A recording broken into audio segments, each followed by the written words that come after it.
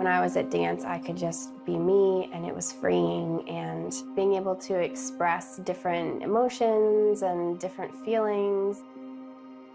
As a young girl, Lindsey Graham always saw herself as a dancer. But reaching her teenage years gave her a much different picture. I never really had the typical dancer's body. I was always a little bit on the heavier side. Of course, when I looked at myself in the mirror compared to the other girls, you just kind of judge yourself. You think, I don't look the part. That low self-image came despite encouragement from her parents, Rick and Dawn. They had raised her to follow Christ and taught her that her character matters more than her looks. Lindsey continued dancing in high school, but as she gained weight, she felt even more self-conscious.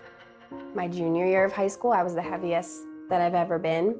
I started taking notice to how boys looked at me. There was a hunger for attention.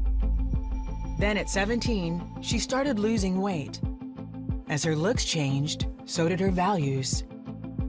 I was getting attention that I had never gotten before, and I just liked it. My dress definitely changed. I started wearing things that were skimpier and showed a lot more skin. I wanted a guy to want me that way. That made me feel good about myself then. I kind of lost perspective of God.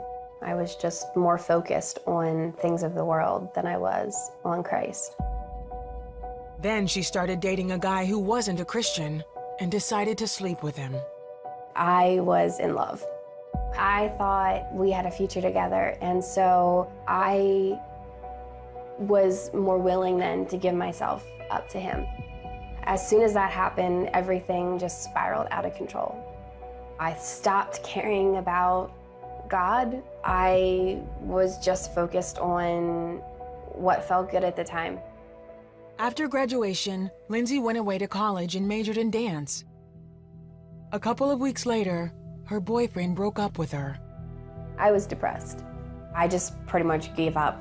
I'm just gonna live however I wanna live and not answer to anyone. One of the biggest lies that I believed was that my only worth was in my sexuality and my body image. I was looking for somebody that would love me and, and want that long-term relationship with me. But it came with a consequence. It felt good in the moment, but the guilt and the shame that came with it, it was horrible.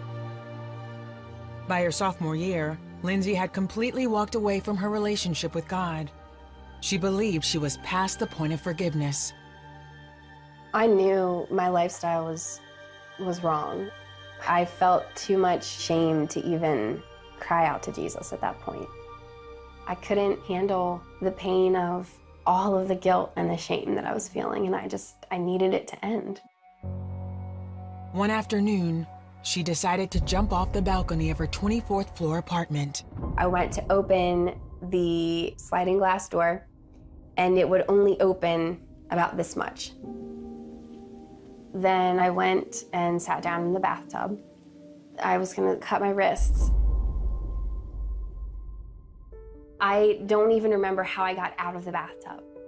It was Jesus just overcame me in that moment and pulled me out of that place. Um, and I just remember being on my knees on the bathroom floor just crying out to God.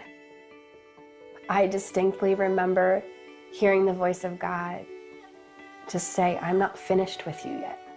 I just felt the Lord shower me with love and acceptance. And I just remember crying out to Him and just surrendering my life over to Him because I knew that I couldn't do it on my own anymore. God was the one that could fill that void of love and acceptance that I had been looking for. Later that year, Lindsay met John and they married in 2008. Now with three daughters, Lindsay also found another way to express herself.